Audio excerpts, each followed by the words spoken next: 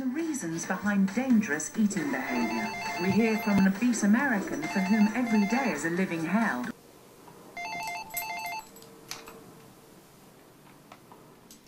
Hello.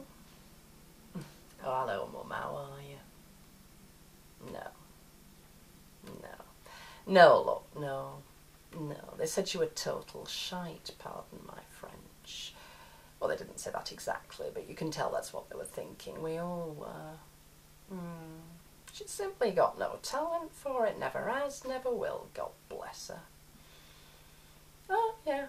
Oh, yeah, she'll still be doing the lessons and costing me a bloody fortune. Dead money. But what can you do? You've got to give 'em up, I suppose, even the useless ones. Mm, that's right. Do you want to say hello to her? A sec. Yeah, hang on a sec. It's your grand love. She wants to know how your audition went. It's grand love. Say hello. No?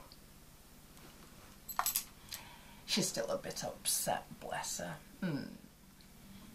How's Dad's angina?